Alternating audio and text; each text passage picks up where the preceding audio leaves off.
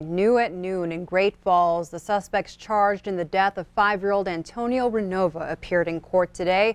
The boy's parents, Emilio Renova and Stephanie Byington, pleaded not guilty to multiple charges, including deliberate homicide, child endangerment, and assault on a minor. Their acquaintance, Rasco Birdtail, also pleaded not guilty to deliberate homicide and tampering with evidence. Their next court date is December 9th. MTN is also learning more about the violent criminal past of the parents of a five-year-old Antonio Renova, including charges of aggravated assault and endangering the welfare of a child. Those cases occurred in Yellowstone County in the last decade. Charging documents obtained from back in 2009 say Billings officers responded to a report of an assault where Emilio Renova was accused of punching his pregnant girlfriend, Stephanie Byington.